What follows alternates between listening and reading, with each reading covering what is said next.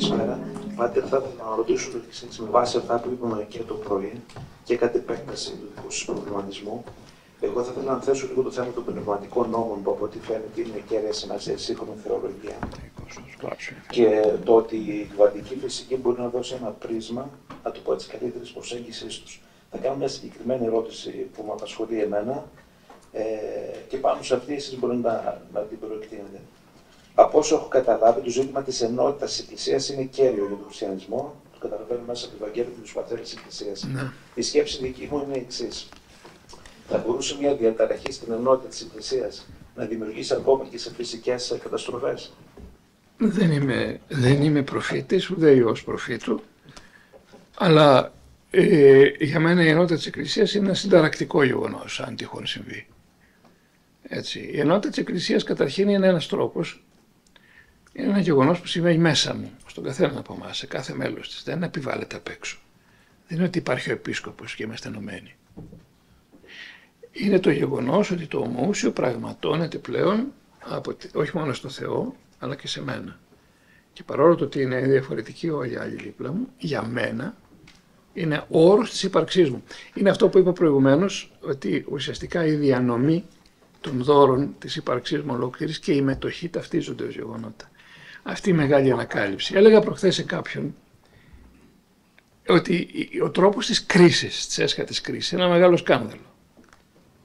Γιατί ο Θεός φαίνεται σαν να έχει ξεχάσει τελείως οτιδήποτε έχει πει, τα πολλά που έχει πει και στην Παλιά και στην Καινή Διαθήκη.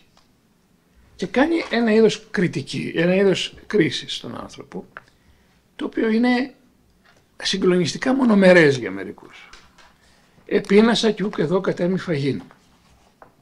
Τι είναι αυτό, ελεημοσύνη, διανομή. Έτσι. Εδίψα κι ούκ από τη σατέμι. Τι είναι αυτό, διανομή, ελεημοσύνη. Ξένος κι ους συνηγάγεται με. Τι είναι αυτό, διανομή. Τι είναι αυτό; Ε, γυμνός κι ου περιβάλλεται με. Μα έλεος πια. Πες και τίποτα άλλο. Λίγο διαλογισμό, λίγο στοχασμό, λίγο αυτό δεν κάναμε κι εμείς. Δεν γίναμε λίγο πιο σοβαροί, δεν παίξαμε λίγο με τους άλλους και με τον εαυτό μας λίγο σε κάποιο υψηλό επίπεδο. Γιατί αυτό το, το φοβερό πράγμα και επιμένει, γιατί, γιατί ο ίδιος είναι από τη φύση του έλεος. Και ο ίδιος κάνει μια, τρομα, ένα- μια τρομακτική κίνηση προς τα σένα, ουσιαστικά, ουσιαστικά σου δίνει τον εαυτό του, αυτό είναι η θέωση. Και θέλει και εσύ να κάνεις το ίδιο.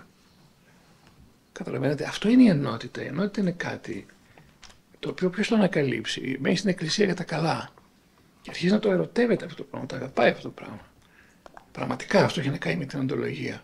Γι' αυτό σας λέω, η ενότητα τη Εκκλησίας είναι ουσιαστικά ο τρόπος με τον οποίο ο Θεός διαμοιράζει τον εαυτό του στον κόσμο και το πώς εγώ γίνομαι ακριβώς εικόνα του με τον ίδιο τρόπο αυτό είναι.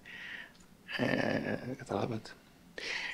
Και αυτά θα τα ανακαλύψει κάποια στιγμή όλος ο κόσμος, ξανά, γιατί είναι προς, ξανά προς ανακάλυψη. Θα πει και ο Σωτήρης εδώ φαντάζομαι τέτοια πράγματα δίπλα από τα από τον τίτλο δηλαδή. Αλλά ας προσέξουμε, έχει περάσει η εποχή των ηγεμονικών λόγων και των ηγεμονικών λύσεων. Δεν υπάρχει κανένας να σας πει την αλήθεια. Και όποιος ξέρει κάτι από την αλήθεια, ξέρει ότι η διαδικασία της έχει να κάνει με την πράξη της αλήθειας. Σήμερα έχουμε ανάγκη τρομερή από το να φανερώσουμε τον εαυτό μας μέσα ακριβώς με τέτοιους τρόπους, α, ούτως ώστε να, όπως έκανε κάποτε η Παναγία. Η Παναγία είναι στο, α, ασκούσε το ομοούσιο. Ε, θέλησε να βάλει το Θεό στην ιστορία, αντί να δώσει δικές της λύσεις. Αυτά είναι πολύ προχωρημένα πράγματα βέβαια, αλλά εντάξει λέμε τώρα. Δεν θα πω τη θέση μου. Εμένα με, κλωτσα... με βγάζει από την ελληνοδυτική σύλληψη οι ερμηνείες και το Ακινάτη και ο... ο- δηλαδή το πώς μεταφράζει τον Αριστοτέλη με τρελαίνει. Ε, θα ήθελα όμως τη βοήθειά σας στο, στην ελληνική ιδιαιτερότητα ως προς το γίγνεσθε. Μήπως η, εν- η ελληνική έννοια του γίγνεσθε και η Ορθόδο, στην Ορθοδοξία μπορεί να μας φωτίσει κάποιες πλευρές της ελληνικής ιδιαιτερότητας. Πάλι πολύ, α, πολύ σχηματικά θα έλεγα σε εμάς το γίγνεσθε είναι διαλογικό γίγνεσθε. Είναι αυτό που εγώ, εγώ το λέω εν κοινωνία γίγνεσθε. Ενώ το γίγνεσθε στο του Ακινάτη είναι το γίγνεσθε του, του Αριστοτέλη με την έννοια είναι το, η εντελέχεια. Το, δι- από το δυνάμεις στην ενεργεία. Ας πούμε. Αυτό μπορεί να γίνει και κατά μόνας στον Ακινάτη. Κανείς ε, ε, γίνεται πρόσωπο, δεν χρειάζεται τον άλλο στον Ακινάτη. Α, ε, ε, ενώ σε εμάς είναι αδύνατο αυτό το πράγμα.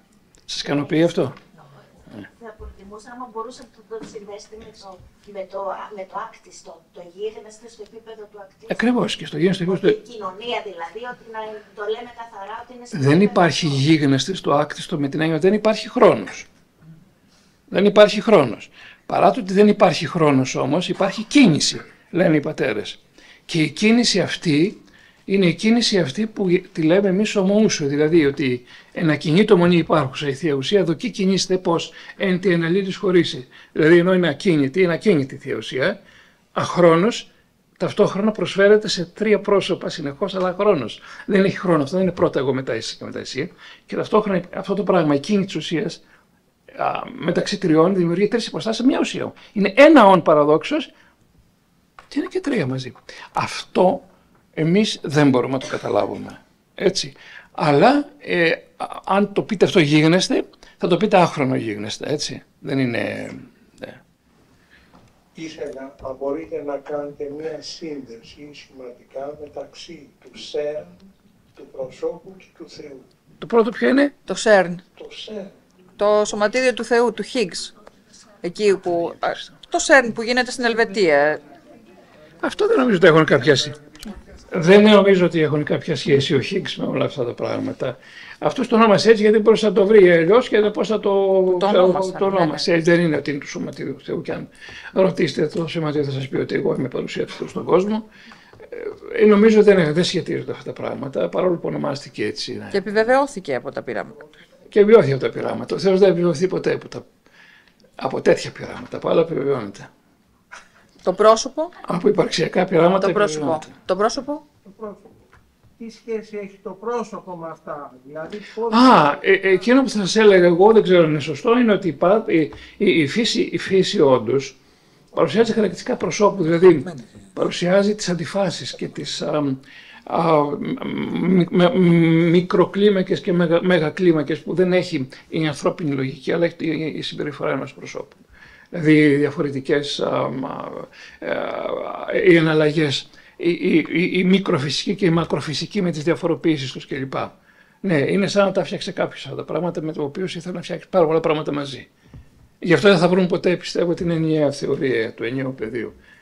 Ε, αν δεν τη βρει και ο Χόκινγκ και δεν τη βρει και ο Αϊνστάιν, θα τη βρούμε. Ποιος άραγε θα τη βρει; Να βρούμε αυτή τη μία εξίσωση με την οποία λειτουργούν όλα. Ε, ναι. Αυτό έχει να κάνει με την παρουσία του προσώπου στη φύση. Θα τα ξαναπούμε μετά. Εσείς. Σχετικά με το θέλημα Θεό.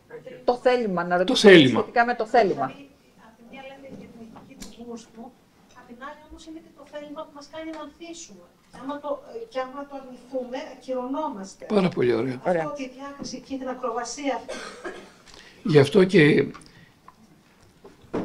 να ξέρετε τι ρωτάτε τώρα. Αυτό που λέμε, αυτό που λέμε στην Ορθόδοξη ασκητική υπακοή δεν έχει να κάνει με το, με το κόψιμο του θελήματος, αλλά με την εκπαίδευσή του. Το θέλημα πρέπει να μάθει από φύλαυτο να γίνει φιλόθο και φιλάδελφο. Αυτό είναι όλο.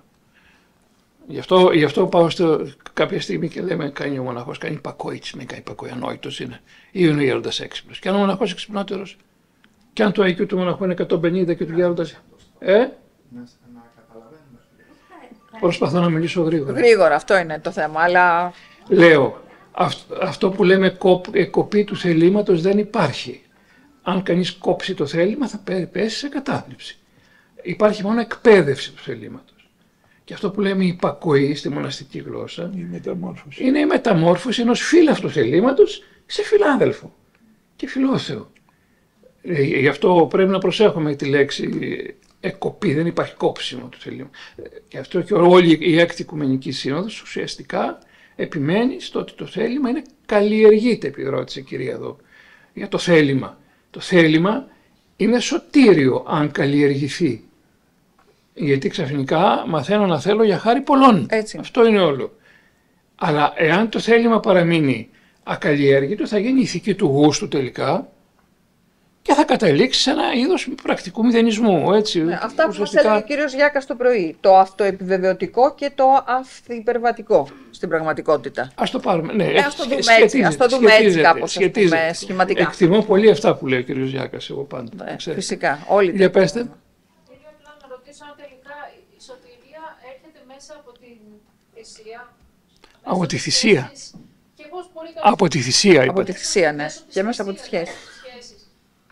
Και πώς μπορεί αυτό να, να ε, επιτευχθεί στον αιώνα του ατομικισμού που ζούμε. Πώς γίνεται αυτό τώρα; Κοιτάξτε, ε, ουσιαστικά κάνουμε θυσία σήμερα. Όλοι θυσιάζουμε τον άλλον όμως.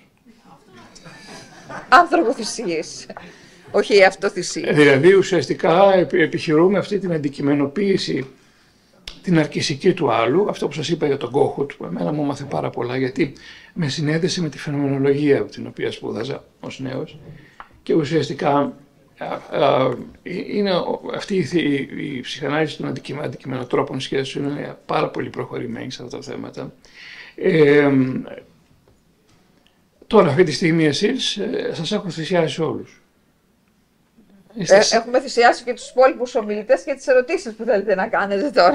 Γιατί, γιατί, γιατί, διότι σας αγαπώ, αλλά αναρκησικά. Είστε για μένα η επιβεβαίωση ότι είμαι κάτι σπουδαίο. Self-object, χωρίς hyphen στη μέση. Μία λέξη.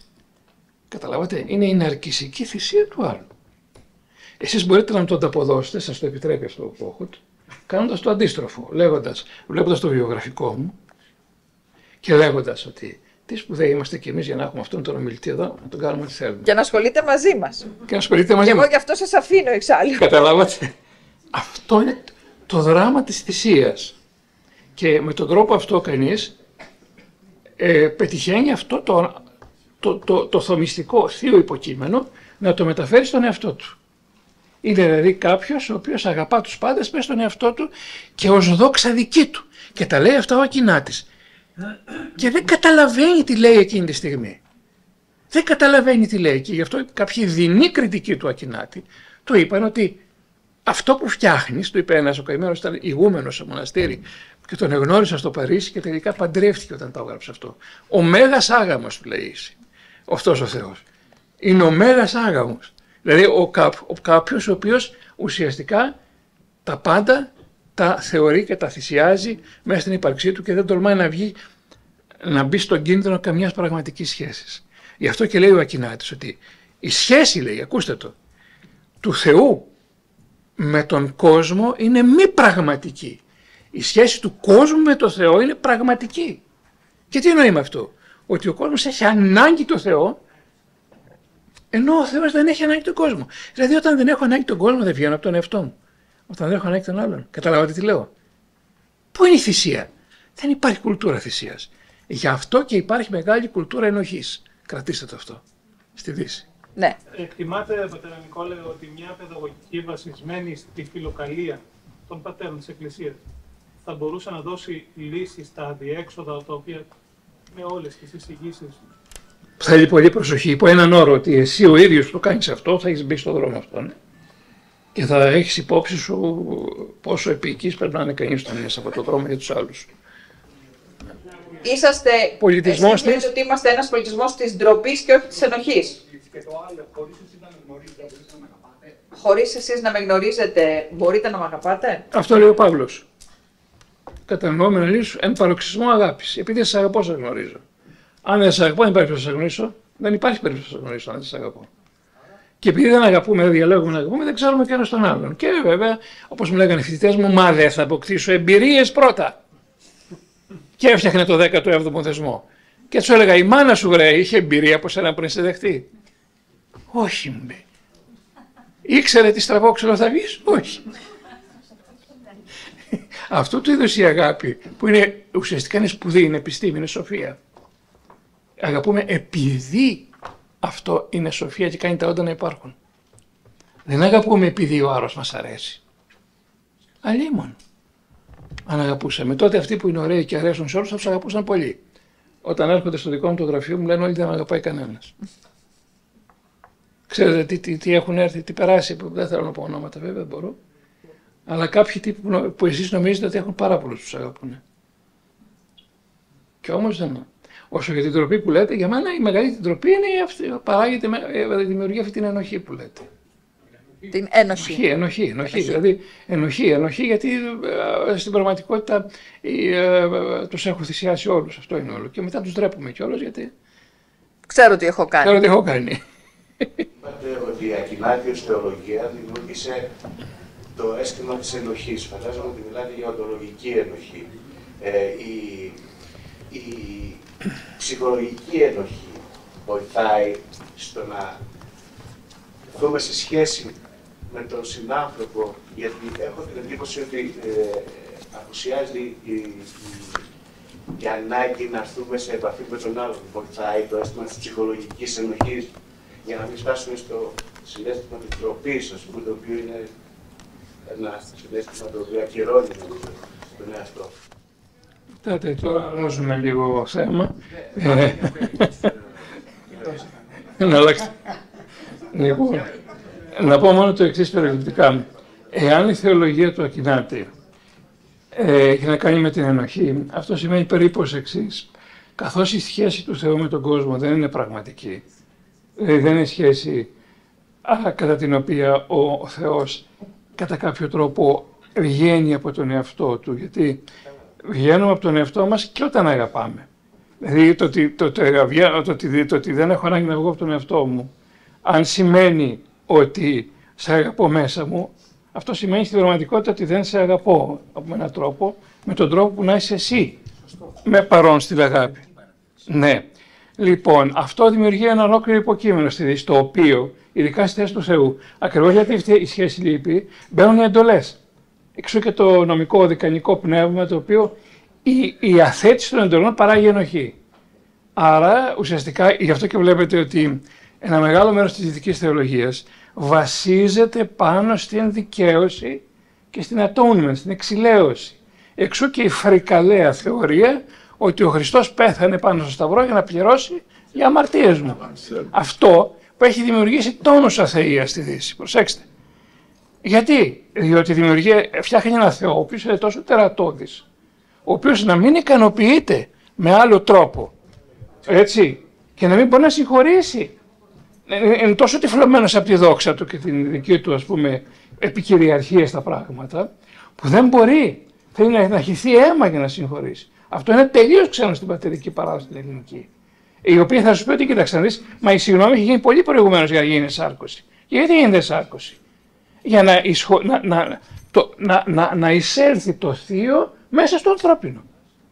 Για να αποθεωθεί ο άνθρωπος. Είναι τελείως άλλη η προοπτική αυτή. Αλλά η πρώτη πτωχή, βέβαια, αυτή παράγει ενοχή. Και βεβαίως αυτή η ενοχή, επειδή είναι στραβή από τη γέννα της, δεν παράγει υγιείς σχέσεις. Παράγει τον καπιταλισμό που θα πει ο Βέμπερ, όταν ε, δεν είναι τον αυτοδικαιωμένο, το, τον ε, αναγεννημένο χριστιανό, που λέει ο καημένο ο Μπούς, μας μισούν γιατί είμαστε καλοί. Ναι. I'm reborn, τον έλεγε, είμαι, είμαι αναγεννημένος. Και αν πάτε στην Αμερική ειδικά, αλλά και κάπου κάπου, μπορεί να σε ρωτήσει κάποιος, Are you saved? Είσαι σωσμένος. Τι σημαίνει αυτό, Ότι πίστεψες ότι κάποιος πλήρωσε για σένα και τέλειωσε. Μα όλη αυτή η θεολογία για την αφομοίωση της χάρη που σημαίνει διάλογο, που σημαίνει ευθύνη, που σημαίνει ε, ε, μάθηση αγάπης, σοφίας, που, που είναι όλη η Ορθοδοξία. Εδώ σε αυτή την περίπτωση λείπει. Γι' αυτό στην Ορθοδοξία δεν μιλάμε για ενοχή. Μιλάμε για μια μάθηση υπαρξιακή, την οποία ούτως ή άλλως δεν έχουμε. Καταλάβατε, δεν υπάρχει λόγος να νιώθεις ενοχή για κάτι το οποίο δεν γνωρίζεις επειδή πρέπει αυτό το πράγμα να το μάθεις μέσα σε μια διαδικασία η οποία προχωρεί συνέχεια και το μαθαίνει συνεχώς. Καταλάβατε. Ε, προσωπικά θεωρώ ότι αυτά τα ξεκαθαρίσματα σε θεολογικό επίπεδο είναι πολύ σημαντικά. Διότι έχω παρατηρήσει και ίσως και εσείς ότι πάρα πολλοί Έλληνες διανοούμενοι, το ξέρω και εγώ από την περίοδο που ήμουν άθεος, όταν ήμουν άθεος, είχα ακριβώς την εντύπωση ότι ο χριστιανισμός είναι αυτό το πράγμα. Καταλάβατε, πολλοί Έλληνες διανοούμενοι νομίζουν ότι ο χριστιανισμός είναι ακριβώς αυτή η διαδικασία της ενοχολογίας και της όλου μεγαλύτερης ενοχοποίησης, ε, δεν είναι, ενώπιον ενός Θεού ο οποίος δεν σε έχει ανάγκη. Και επομένως επιβάλλεται σαν απρόσωπος νόμος και στην κυριολεξία σου καταστρέφει την ελευθερία. Δεν έχεις την ελευθερία να, να, να, να αμαρτήσεις. Ενώ στην Ορθοδοξία η αμαρτία είναι δικαίωμά μου. Ούτε τι λέω. Είναι η δικαίωμα το οποίο έχω να αποτυγχάνω γιατί ενώπιν του Θεού ομολογώ και ενώπιν της κοινότητας δεν ξέρω. Είναι εξομολόγηση. Είναι εύκολα παρεξηγήσιμο. Καθόλου εύκολο. Όταν κάποιος, Γιατί είμαι πραγματικά ελεύθερος. απλά όταν κάποιος έχει μπει στο μήκος κύματος αυτή τη στιγμή που μιλάει, του, αυτό που λέτε, το καταλαβαίνει. Ναι. Αλλά αν πείτε σε ένα ευρύτερο κοινό ότι η αμαρτία είναι δικαίωμά μας, μπορεί να γίνει αντικείμενο κατάχρησης. Ακούστε κάτι. Θεωρήσει κάποιος Προσέξτε γιατί ο Απόστολος Παύλος Είναι αυτεξούσιος ο Ο Απόστολος Παύλος το είπε αυτό. Προσέξτε, λέει, είστε ελεύθεροι, αλλά την ελευθερία, αν προσέξτε, πώς την χρησιμοποιήσετε. Αλλά δεν, δεν έρεται η ελευθερία αυτή. Εάν έρθει η ελευθερία, ο άνθρωπος γίνεται αναγκασ- αναγκαστικά σωσμένο, ανακυκλούμενο μπουκάλι. Δεν έχει πλέον καμία δυνατότητα συνεργίας. Τέλειωσε η ελευθερία, τέλειωσε η συνεργία. Αλλά η συνεργία έχει λάθη. Όπως ένα ζευγάρι. Μέχρι να μάθει την αγάπη για να συνεργήσει δε τέλεια, συνεργία τελώς. Και καυγαδίζει. Και ο καυγάς είναι μια πολύ υγιής κατάσταση μέχρι να μάθουμε την αγάπη. Ναι, και ένας καλός ας πούμε οδηγός, ένας πνευματικός, δεν θα πει στο ζευγάρι ηθικιστικά. Σταματήστε. Ή θα- χωρίστε. Ή χωρίστε. Αλλά θα τους πει: Κοιτάξτε, συνεχίστε γιατί είναι γόνιμο αυτό. Γιατί έχει κατακτήσεις αυτό. Γιατί έχει επόμενα βήματα αυτό. Αλλά να ξέρετε ότι, και το λέω αυτό με κάποια αίσθηση πικρίας, το πόσο άγνωστη σε αυτό τον πυρήνα της και σε άλλους είναι η Ορθοδοξία, στον τόπο εδώ που γεννήθηκε, είναι κάτι που προξενεί μελαγχολία. Έτσι. Γιατί θα ελευθέρωνε πάρα πολύ τον κόσμο αυτό το πράγμα. Και έρχονται και μας ρωτάνε και στο θέμα των ομοφιλοφιλίας και λοιπά, είναι καλό ή κακό. Μα η ίδια έννοια της αμαρτίας δεν έχει τίποτα να κάνει με την ηθική. Να άλλη μια δήλωση προκλητική. Μήπως η, η, Δεν έχει τίποτα να κάνει με την ηθική η Στο αμαρτία. λεπτό. Η αμαρτία είναι η το κατα... διάκριση της κολάσεως και του παραδείσου ε, έχει βοηθήσει πολύ σε αυτή Της την τέτοικης. εκδοχή της... Μα δεν υπάρχει, Ηθικής. δεν υπάρχει παράδειση και κόλλος από την πλευρά του Θεού. Ε, ναι, αλλά διακινείται ευρέως αυτό. Ενώ Ναι, η Ορθοδοξία έχει και την οικονομία. σε, μια, σε ένα πολιτισμό ενοχής, ο παρα, η κόλαση είναι ανάγκη να διακινείται ως μέσος σοφρονισμού. Αλλά αν διαβάσετε την Ορθόδοξη παράσταση, ο Θεός ου κολλάζει. Είναι από τον Αυγουστίνο αυτά. Αυτό είναι το Αυγουστίνο αυτά. Πρέπει αυτό να διευκρινιστεί. Η κόλαση δεν υπάρχει από την πλευρά του Θεού. Η κόλαση είναι κάτι που φτιάχνω εγώ. Ο Θεός δεν ξέρει πώς να φτιάξει κόλαση. Δεν ξέρει πώς να κολλάσει. Ξέρει μόνο να αγαπάει. Τίποτα άλλο. Και αυτό το, αυτό το πράγμα είναι μια προαιώνων κατάσταση. Για- Το λένε οι πατέρες αυτό, όχι εγώ. Όταν λέει ο Δαμασκηνός ο Θεός ου κολλάζει. Κόλλας γαριστεί του Θεού με θεξία. Τι έγινε; Έρχεται, κάνει γίνεται ένας σάρκος, σου δίνει την αιώνια ζωή και σου λέει από εδώ και πέρα αυτή η αιώνια ζωή να είναι για σένα αυτό το οποίο νομίζεις. Είναι ανεθέα του Θεού χωρίς συμμετοχή, που το βιώνει σαν κόλαση γιατί σου λείπει. Τον βλέπεις και σου λείπει, αυτό είναι η κόλαση. Έτσι. Ή να είναι θέα και μετοχή μαζί. Αυτά είναι ξεκαθαρισμένα πράγματα στην πατερική παράδοση. Και κανείς δεν διαφωνεί. Και μάλιστα σπέβδουν να πούν μερικοί, ε, λέει ο Μέγας Βασίλειος κάπου, ε, χρησιμοποιώ λίγο την, την, την παιδευτική αυτή της κολάσου, αλλά δεν είναι έτσι τα πράγματα, προσέξτε. Οι Άγιοι το ξέρουν πώς δεν είναι έτσι το πράγμα, σου λέει. Το διευκρινίζει. Εντάξει. Αυτό είναι. Και, και γι' αυτό το πράγμα ο Γρηγόριος ο Νήσος όταν είπε για το τέλος της κόλασης απλώς του αφαίρεσαν, του είπαν κοίταξε μην το συζητάς αυτό. Γιατί, γιατί αν το, το δεχθεί κανείς αυτό, τότε μπορεί να είναι επικίνδυνο αυτό στην οριμότητά του. Για παιδαγωγικούς λόγους. Ναι, αλλά όταν ο Άγιος Ουλανός ευρέθη σε κατάσταση απελπισίας και έλεγε Θεέ μου ελέγχει τον κόσμο και λοιπά και έβλεπε δεν γίνεται τίποτα. Λέει η παράδοση ότι είδε τον Χριστό, τον ζωντανό Χριστό και του λέει κοίταξε να δεις. Για το ένα κύριε ελέησον μου θα πει ένας άνθρωπος, εγώ αυτό το λαμβάνω υπόψη. Αλλά αυτά δεν είναι για όλους. Τα πρώτα λόγια μου, ο πατήρ Παΐσιος, όταν το γνώρισα και ήμουν άθεος τότε, τότε μπήκα στην εκκλησία, μου λέει άκου να δεις. Οι πατέρες έχουν κρύψει τη μεγάλη αγάπη του Θεού. Ε, λέω, εγώ, συγγνώμη, μου, γι' αυτό μιλάνε. Όχι, μου λέει. Δεν είναι δυνατόν να το περιγράψεις αυτό. Είναι τόσο τεράστιο, είναι τόσο μεγάλο, που δεν μπορείς να το φέρεις στο λόγο. Και όταν το συνειδητοποιήσεις, φοβάσαι να το πεις, γιατί οι άνθρωποι δεν είναι όρι- όριμοι να τα ακούσουν. Ακούστε τα λόγια ενός μεγάλου ασκητή. Ε; Ήταν τα πρώτα του λόγια. Καταλάβατε και τα πρώτα πρώτα πρώτα λόγια που είπε. Βέβαια ήταν, έρχονται εδώ λέει μερικοί που αγα... χάσαν αυτές που αγαπήσανε. Ναι, ε, σε μένα απευθυνόταν. Αυτό δεν είπε ποιος. Ήξερα πώ έβλεπε το, με το χάρισμά του. Λοιπόν, και πολλοί λέει του συμπονώ. Λέω, γιατί; Μου λέει, γιατί και εγώ ένας ερωτευμένος είμαι, μου λέει. Λέω, τι είστε; Ερωτευμένος. Αλλά είναι ερωτευμένος. Ε, ε, ε, αυτό ανέτρεπε μέσα μου τελείως όλη αυτή την ηθικολογία και νομικισμό που είχε το ψέμα, το είχα απορρίψει για αυτόν τον λόγο. Λέω τι εννοείται ερωτευμένο. Άμα ακούσεις, λέει, βρε παιδί μου, λέει έναν ασκητή να περνάει με 10 παξιμάνι της Σαρακοστή, μου λέει, έχεις δύο πιθανότητες να πει. Ή να πεις ότι είναι τρελός για δέσιμο, ή να πεις ότι είναι ερωτευμένος. Θες την κάνουμε ερωτευμένη, μου λέει. Ε, μου λέει, εγώ ναι. Καταλάβατε. Καταλάβατε. Δηλαδή, ευχαριστώ για αυτή την ερώτηση. Και θυμάμαι τον πατέρα Πορφύριο που μου έλεγε, κοίταξε, επειδή έβλεπε το μέλλον, έλεγε μου, θα γίνεις κάτι κάποτε, θα μιλάς πάντα να δεις την ενοχή μου. Λέει. Η ενοχή ή τον τρελαίνει τον άνθρωπο ή τον κάνει παγερά διάφορο. Μα. Άρα, Πάτερ Νικόλε, δώστε μου μισό λεπτό, γιατί είναι συγκινητικό αυτό. Δεν πειράζει. Ε, άρα, Πάτερ Νικόλε, στην πραγματικότητα η αλλίωσή σας, η αλλαγή ήρθε μέσα από τη συνάντηση με τον ε, Άγιο Παΐσιο. Ε, τα έχω πει δημόσια αυτά. Ναι, αυτό, ναι, δεν χρειάζεται να μας δώσετε. Μάλιστα. Λίγη ήταν τόσο άθεια από μένα στην ναι. μου, θεωρητικά. Ναι, είναι πολύ συγκινητικό. Αλλά δεν, είναι, δεν έχει την αξία ότι ο ίδιος ο Χριστός μας δίνει το δικαίωμα στην αμφιβολία, δηλαδή με το Θωμά; Που του μα, επιτρέπει, το που του επιτρέπει να τον ακουμπήσει. Ναι, έλα, έλα, έλα να ακουμπήσεις, έλα να ακουμπήσεις. Και, και μάλιστα, όταν λέει μακάρι μη δόντας και πιστεύοντα, τι λέει εκείνη, τι εννοεί. Του λέει, κοίταξε, μακάρι να έχει φτιάξει κανείς μια βαθύτερη σχέση Έτσι. με την πραγματικότητα τη δική μου. Αυτό είναι όλο. Για να ακουμπήσεις τώρα. Αλλά... Τον άφησε όμως. Βέβαια τον άφησε. Τον άφησε. Βέβαια τον άφησε. Και αυτό και μόνο δείχνει πόσο ναι. Με συγχωρείτε, επειδή έχω αδικήσει τον κύριο, ο οποίος είναι έτοιμος να πυροβολήσει με το μικρόφωνο και μετά εσείς και εσείς. Επειδή είναι όμω. Ε, Έχετε δίκιο, αλλά αν σας παραχωρήσει τη θέση. Την παραχωρώ γιατί είναι εξαιρετικός. Εντάξει, ωραία, αφού. Εντάξει, εντάξει, ωραία. Εντάξει τότε. Ε, επειδή αυτά που είπατε, Πατερ Νικόλα, είναι πάρα πολύ ωραία και ουσιαστικά, θα ήθελα, ε, επιμένοντας το θέμα αυτό, να κάνετε μια διάκριση, να να κάνετε περισσότερο τη διάκριση ε, ανάμεσα στην ενοχή και τη συνέστηση της αμαρτωλότητας που είναι μέσα στην Ορθόδοξη ζωή. Κοιτάξτε, η μετάνοια είναι ένα ερωτικό γεγονός. Εντάξει.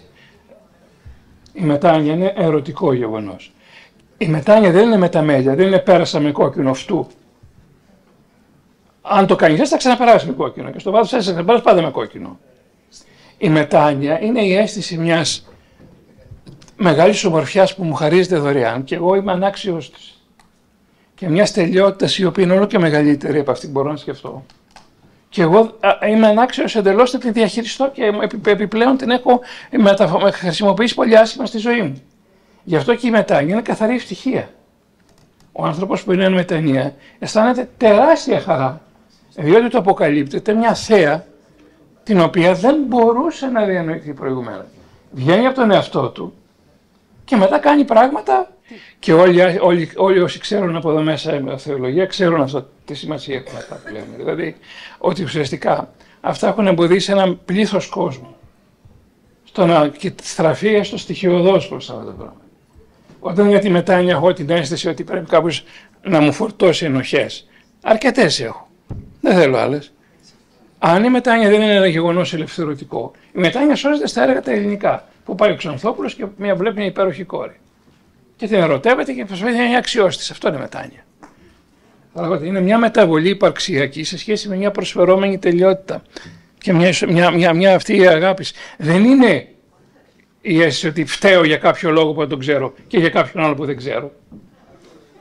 Λοιπόν, ε, είπατε ότι επειδή ο άνθρωπος δεν καταφέρνει να, να είναι ας πούμε στο μέτρο ε, και κάνει κάποια λάθη, οπότε ε, υπάρχει, επειδή κάνει λάθη, για να επανέλθει στην ε, ορθή, ας πούμε, συμπεριφορά, υπάρχει η, η τιμωρία ή οι δέκα εντολές είναι αυτές ή οτιδήποτε, οπότε αναγκαστικά εκεί λειτουργεί ο φόβος σαν απογορευτικό μιας συμπεριφοράς.